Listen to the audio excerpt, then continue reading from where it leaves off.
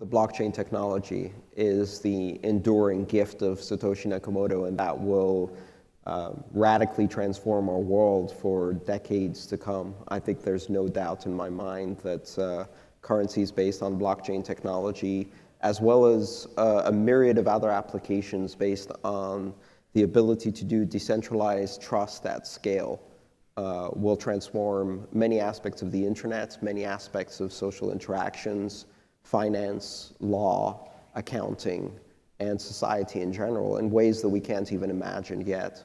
But at a fundamental level, you know, a ledger um, is a powerful concept, and I don't see how you regulate away the fundamental technological innovation and all the things that you can do with it. And so that's one reason that I'm a believer in the, in the movement and all of the technology and development that's going on around it is, is going to be multi-purpose. It's not, it's, it's, it's not just for what we see today, but a lot of that investment and innovation is also going to get purpose to expand the range of applications. And again, we can't necessarily imagine or predict what all of those will be, but this sort of fundamental technological innovation is it's happened, it can't unhappen, and so so we, we've entered sort of a new era. For the first time in history, we have the ability to do decentralized trust at scale across distances between individuals who have never met before.